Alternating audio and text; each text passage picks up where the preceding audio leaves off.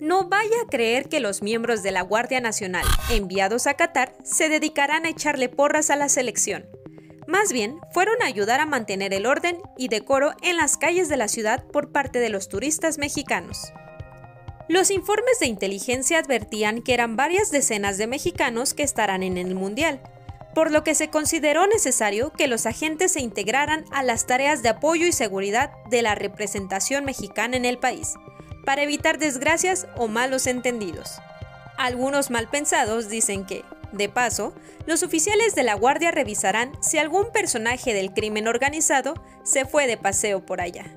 Todos los detalles por ejecentral.com.mx.